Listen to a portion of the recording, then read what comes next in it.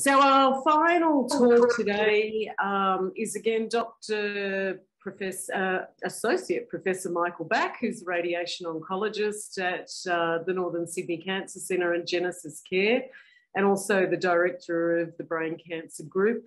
Uh, and Dr. Back is going to talk about um, a topic that I think is really important and something that, you know, really amongst all the treatment that you've had is around how you continue living life after diagnosis. So Dr. Back's going to talk about dealing with the uncertainty, outcome and survivor, survivorship issues. Thanks, Dr. Back.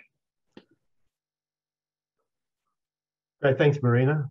And uh, I promise in this uh, presentation, I've limited to one MRI picture. So when we see our patients in the clinic and we're seeing someone who's been diagnosed with oligodendroglioma and they're coming for a consultation, they're at the age of 25, um, we, we see an oligodendroglioma as being a very optimistic thing because we're dealing with glioblastoma, a very negative prognosis most of the time. But we've still got to realize that if we're saying, wow, there's a great chance that you'll be alive in 10 years' time, it only takes that 25 year old to 35. So there is a lot of, you know, uncertainty that happens along that pathway. Uh, hopefully in this sort of session, I can give an idea of what's happening more recently. And I, I guess it's some aspects of hope to say that we're getting better survival going beyond that sort of 10, 15 years in the modern era as we're, as we're coming through. And thus we need to be concentrating on issues which are related to not only survival, but also survivorship which is the way people live alongside of their illness. So what is survivorship? Well, survivorship is can be defined as a process for living well and beyond a cancer diagnosis.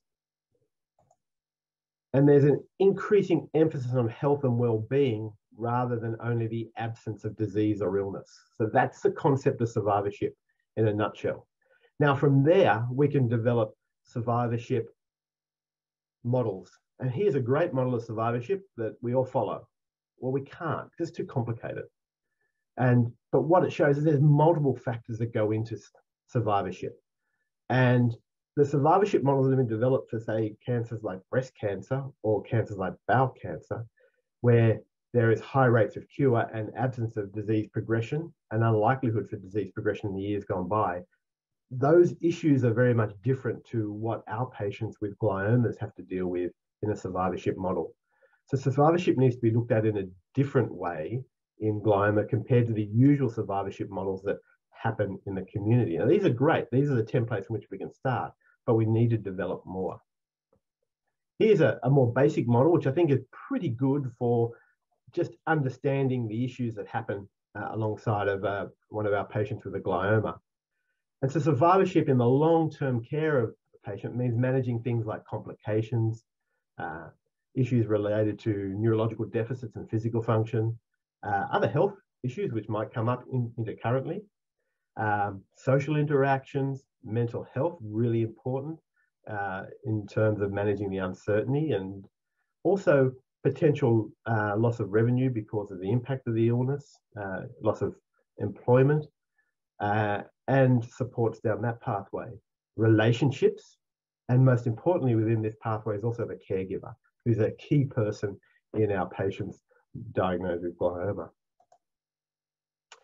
Intermixed with that uh, survivorship and that sort of model is also assessing what we call unmet needs. Now, sometimes unmet needs are unmeetable needs, so we can't provide an answer or can't provide a solution. But there are many needs which are unmet, which we could meet if we had better models of understanding survivorship. Here's an example from the UK, and these were patients with um, long-term follow-up in glioma, and the three top unmet needs were issues related to memory and concentration, fatigue, and recognizing signs of progression. So that uncertainty, how do I pick up if the tumor is coming back? And the need for support is also seen there in the same sort of features as well. So unmet needs in the survivorship model is also intimately linked as we see in our future research. So where do we stand with oligodendroglioma in terms of survival or survivorship? So let's look at this survival issue because I saw a lot of the questions were coming through about, survival? What's the rates of survival, etc.? And I think it's important to reflect upon it. Everyone's individual, so the, the answers that we give are based upon population data, but every person's journey along that population is an individual journey. But let's get an understanding what a survival curve is. And we use these a lot in medicine. And survival curves are basically uh, the rate of survival here on this um, uh, y-axis. So 100% survival going down to 0% survival and the years after diagnosis. And this is the curve of which happens with the population. And the little clicks are where people are up to in their follow-up and the steps are when people have actually died from their disease. So what we're finding is our patients with oligos, and this is our survival curve ours from IDH mutated tumors in general, is that we're getting good levels of survival going out eight or eight or years plus down the track, but we don't have a lot of data going beyond that. Here's some long-term data from the US uh, National Surveillance Registry. Now, the, the, surveillance registry has got some flaws with it, but it's, it's actually quite a good data set to sort of learn from. And this is patients with oligodendroglioma who uh, they looked at death related to the tumor over time based upon age. And so they've got survival in months here. So you're looking about 10 years, falling around this sort of 60% figure here for various ages uh, and lower for older age groups. Now, it's important to recognize this, um, that this data is actually data from 2000 to 218. It's good numbers, but a lot of things have changed in that time period. And uh, I use a pretty rough analogy sometimes. It's like the iPhone. So you wouldn't make a phone call now with an iPhone first generation. You could, you could still probably make the phone call, but you could do things a hell of a lot better, a hell of a lot more efficiently, and have better results if using a later generation. Same things with improvements in time in this sort of technology is also improved in technology when we look at brain scans. And so this is an MRI back in 2012, and this is the same patient's MRI scan in 2020.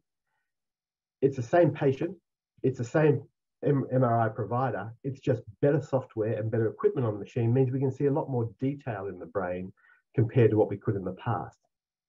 And as a result, we can manage people better if we can see more things. So if a surgeon can see more things day one, they can make an appropriate decision regarding surgery.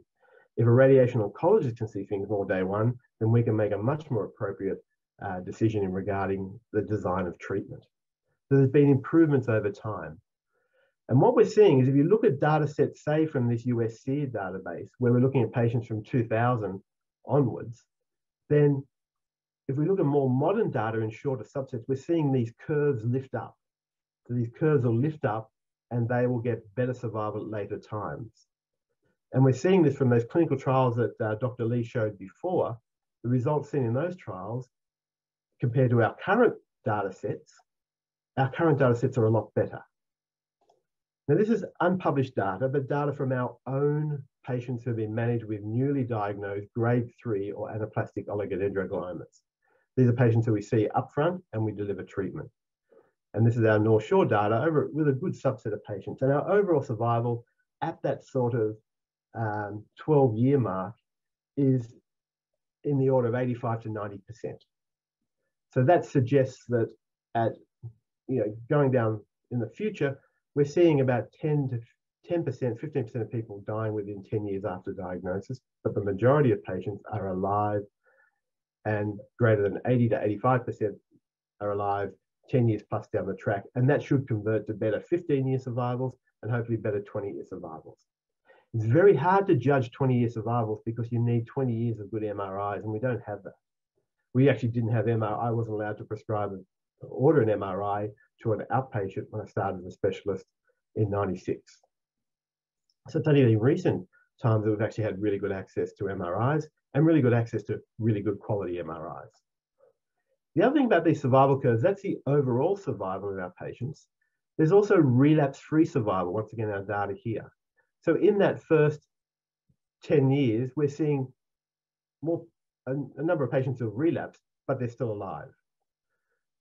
So we're also seeing patients who at 10 years, a majority of patients have not relapsed or are projected not to relapse based upon these survival curves.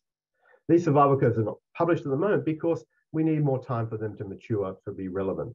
But the data is tracking well to suggest that in patients managed from 2008, 2010, 2012, 2016, we're seeing better survivals. And we're seeing that in our patients with glioblastoma as well. So we've looked at our own data and patients treated before 2013 versus patients treated uh, after 2013. The patients after 2013 are doing better in terms of survival, even though it's the same recipe in terms of radiotherapy and chemotherapy, because a whole lot of other factors support um, imaging, uh, the way we deliver the actual treatment has all improved. So we're actually getting better outcomes. So thus the future emphasis should be more on survivorship rather than the actual survival, because we've got to make sure that we're looking after our patients. So here is a very brief 10 research lessons on survivorship in patients with oligodendrogliomas or favorable subtype brain tumors. This is mixed with a bit of dogma as well, so I uh, apologize for that. But there is limited data coming through, but the data coming through is very interesting. So we've published our own patient uh, cohort of patients with IDH mutated tumors or favorable subtype tumors, which include the oligodendrogliomas, and looking at patients who are five years plus down the track after initial diagnosis. And what we found is that survivors have good function, but there may be some deficits and impact. So if we look at our patients five years down the track, we're seeing that the patients have what we call ECOG zero or one performance status in more than 90 odd percent of patients. So they're managing well, they're functioning well. We're also seeing that patients returning to employment after completion of radiotherapy for these favorable subtype tumors, in the patients that, who have got the follow-up beyond five years, we're seeing high levels of patients returning back to work. But if we go back to the start, we're seeing before the radiotherapy a whole lot of patients who are impaired at baseline who couldn't work because of the nature of the tumor or the nature of the uh, effect of um, the subsequent initial treatments that were required. This is really good data from University of um, Melbourne with Kate Drummond's team down in Melbourne, who are projecting patients and doing follow-up on patients who have had initial um, uh, operation for a favoral risk glioma. And they're, they're finding also that uh, patients can have good function, but there are deficits and impact which happen uh, at time of initial uh, diagnosis. So their curves here show uh, a rate of quality of life for various domains um, and various scores, with the grey being the normal population and the um, black areas being the low grade glioma population. So we're seeing that uh, groups of, of, patients with low grade gliomas have got lower quality of life in various domains uh, compared to a normal population in the community. So it's important to recognize there are deficits, even though our patients do have relatively good function. This is interesting data that's not published yet, but presented. And this was presented last year. And this is from uh, the Dutch who have done a lot of good work in um, um, uh, quality of life and neurocognitive function after glioma treatment. And uh, they've published on following up their patients with low-grade glioma 26 years after diagnosis. So firstly, one, we've got patients alive 26 years down the track, which is fantastic. And they're actually looking at those patients and doing audits on those patients over time. And looking at their health related quality of life. And what they're saying is that patients actually maintain their function pretty well over time. So if you get through the initial insult okay, then your general quality of life is maintained down the track, even at time periods 26 years after initial diagnosis.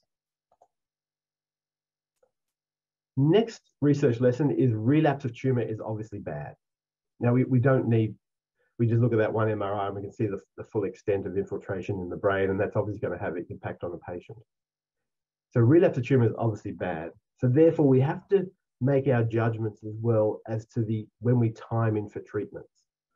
So even though a treatment might have some morbidity, we don't want to let that more the tumor progression through delaying it lead to greater impact. So it's that initial uh, decision making around observation and when to intervene becomes really important. Also, multiple craniotomies is also probably bad. Now, this data is not strong. Our data was suggesting that as well. The patients who have had multiple craniotomies, and by default, that generally means multiple relapses before they come and have treatment, have potential issues with quality of life or other neurological deficits. That's controversial at the moment, but there's data coming through. This data here is actually from the UK, and it's actually in meningioma patients. Our data in, uh, in gliomas has also been published, and that did suggest multiple craniotomies did have an adverse effect on some of the functional issues returning back to work, etc. But it probably correlates with um, uh, relapse of tumour, not just a surgical procedure. Lesson number five is that seizure medications need to be optimized. So we think about late side effects from the radiotherapy and the chemo, but the anticonvulsant medications also potentially have an impact. And they can have other effects on the body and other effects in the in terms of uh, patient functioning. And sometimes cognitive issues, etc., may need to be addressed. And sometimes it involves a need to rotate the anticonvulsant medication. Some patients need to stay on anti-seizure medication, but other patients can, may need to actually have their medications uh, optimized and maybe rotated to try to minimize the effects that might be evident from uh, one drug over another. That's a very difficult and very specialized area as well. Next research lesson, what we're learning is that radiation therapy design is probably more important than the machine. So this is an example of a patient treated elsewhere and a patient treated by, uh, by myself in a sort of a sophisticated uh, brain tumor practice. Now, rather than use using basic field arrangements and design of treatment, um, we use multiple beams to try to minimize the dose to the normal brain. So the machine is actually the same. It's the same machine. It's got the same hardware on it. It's got the same software on it, but we can utilize the design of treatment on that machine optimally if we've got a good pathway set up. So there's a question I think about proton therapy. Proton therapy is a, a good machine, and there's going to be a proton therapy machine in Australia in the next couple of years, which would be great down in Adelaide. However, it's not so much the machine that's important, it's how the treatment's designed on it. And most of the machines now mimic some of the uh, dose characteristics that protons can give. And in fact, in the U in the Europe, there's various centres who won't treat their glioma patients on protons because it's actually not favourable to actually deliver treatment in that way for a brain tumour, where you need a graduated dose rather than a very sharp area of the dose. It's it's a technical issue, but it's actually not the machine that's important. It's actually how it's designed, which is, is bringing out more information. And we see that in some data coming through now. And this is the data from, um, from India, actually, where they looked at young patients with low-grade brain tumors, and they looked at patients who were treated in a standard manner versus treated in a sophisticated manner, and they saw better um, quality of life and cognitive endpoints at five years plus down the track for more sophisticated treatment. But there's not a lot of data on that to quote.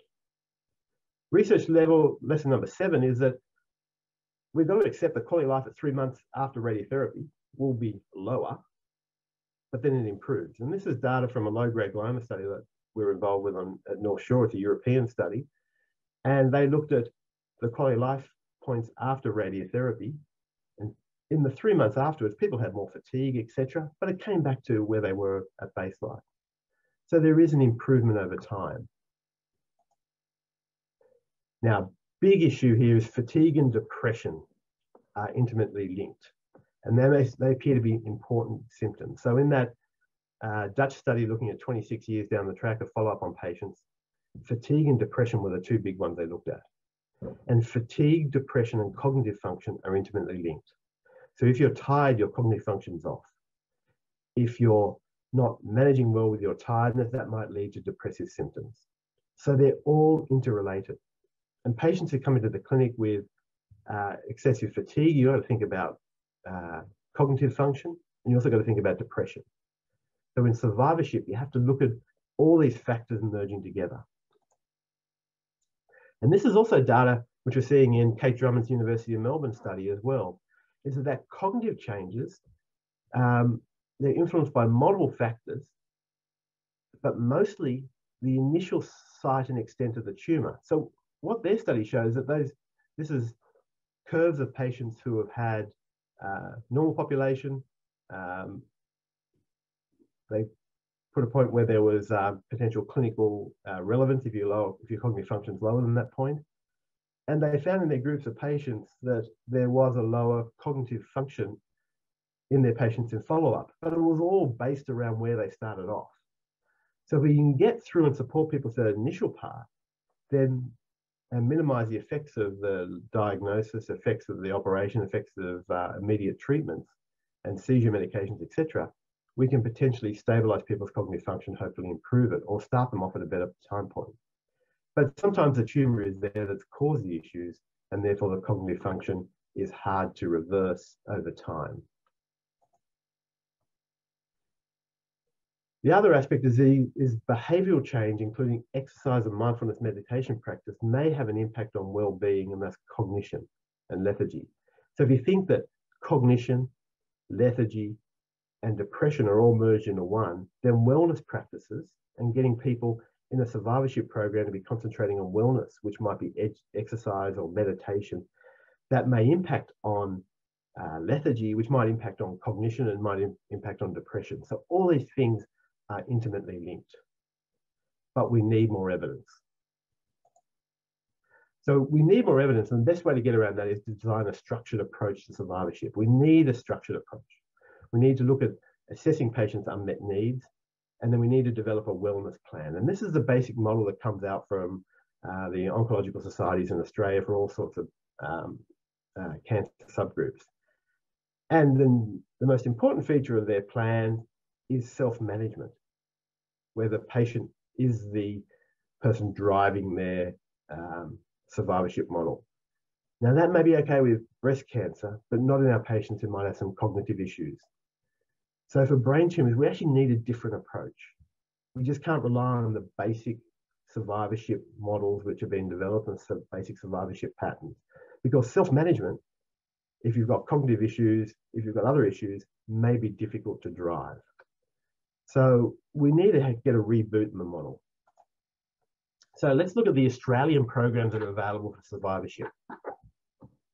And unfortunately, the screen is blank because we actually don't have any apart from some small institution programs. We don't have a coordinated approach to survivorship in Australia for our patients with oligodendroglioma or favourable risk brain tumours. There's an absence of programs. We don't have any structure to develop. So instead of Australian programs, we've got to look at Australian research. And this is where we need people associated with BTA to be really actively involved. So the University of Sydney got a, has got a big Cancer Australia grant called the BRAINS program, which is looking at brain cancer rehabilitation, assessment, and innovation for, for survivorship needs. Now, the first thing is we've got to differentiate patients who have got oligodendroglioma or low-grade tumours, favourable subtype tumours versus glioblastoma. They are two completely different illnesses. So we have to look at patients who have got glioblastoma and say brain metastases and look at them differently compared to patients who have got IDH mutated tumours or oligodendrogliomas and meningiomas and we look at those patients in a different cohort because the two models are completely different. The two needs are completely different. We're talking more emphasis on survival for the bad type tumors, whereas in the oligos, etc., we're looking at more long-term survival and survivorship needs. So we really do need to separate the two. And we need BTAA supporters to be right behind this. So if there's surveys being done or research being done, we want people putting their hand up for the BRAINS program. That's a really important one, and it's been running for about 18 months now. So we should be getting some data coming through from the Big Cancer Australia grant. Likewise, we need to look at studies like the University of Melbourne Kate Drummond's one, which is looking at the quality of life after surgery for low-grade glioma. And the Brain Cancer Group is also doing a functional survivorship audit, but this time at five years after radiotherapy and looking at correlations with MRI changes in our patients that we've managed. So we're looking at those different areas of research, and the aim would then be to develop a survivorship program which can run across Australia, not just in Royal Melbourne Hospital or Royal North Shore Hospital, but it can run as an Australian-wide thing. The other thing which is important to recognise is that this is not for doctors. It's not for oncologists. We need to be aware of what's going on, but we need this to be driven by our psychologists, our occupational therapists, our physiotherapists, our support nurses and nurse practitioners, etc. The doctors are concentrating on different things and unfortunately do neglect different things. But we actually need to get the community health driving in with the general practitioners and driving with community supports to develop these survivorship models. And the BTA is really well situated to be a key driver for that, working with these units. So thank you. That's a bit of research and a little bit of dogma, but uh, uh, hopefully that will raise some further discussion. Thank you.